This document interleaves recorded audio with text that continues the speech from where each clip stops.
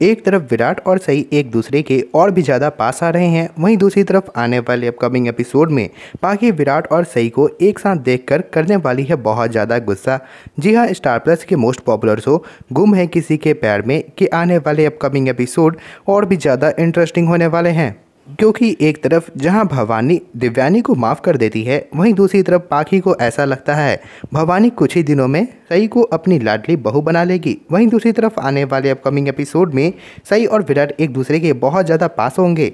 वहीं दूसरी तरफ़ पाखी सई और विराट को एक साथ देख लेगी, जहाँ विराट सई को गिफ्ट देने वाला है। खैर, अब ये देखना और भी ज़्यादा इंटरेस्टिंग होने वाला है। आखिर पाखी अब क्या करने वाली है प्लानिंग सही के खिलाफ ताकि वो सही को घर से भेज सके। पाखी को ऐसा लगता है, उसे कुछ ना कुछ तो ज़रूर करना होगा।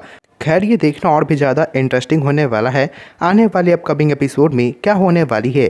पाखी की प्लानिंग सही के खिलाफ और सही इस बार कैसे पाखी को अपनी प्लानिंग में फेल करने वाली है? वीडियो पसंद आया हो तो वीडियो को लाइक करें।